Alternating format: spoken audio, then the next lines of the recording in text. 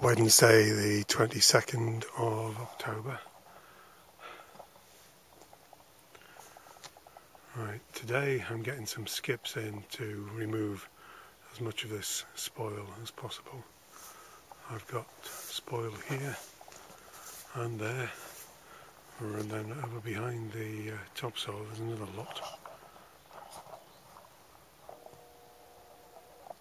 All of which has to go.